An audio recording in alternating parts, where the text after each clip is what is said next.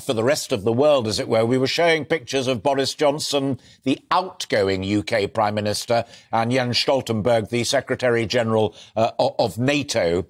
Are you confident, and I remind folk that you yourself are a member of parliament, you're an elected politician in Ukraine, that whichever of the candidates succeeds Boris Johnson, be it Liz Truss or Rishi Sunak, that the support of the United Kingdom for your struggle is sacrosanct and will remain?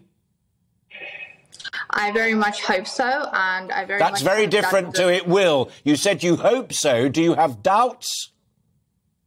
I do not have doubts in the support that the UK is providing us, because again, the British political spectrum is reflective of what the people in Britain are feeling towards Ukraine and Ukrainians. And at the moment, what I see and what I feel myself is that the British people are very much Uh, uh, uh, in, in line with helping Ukraine and very much committed to helping Ukraine.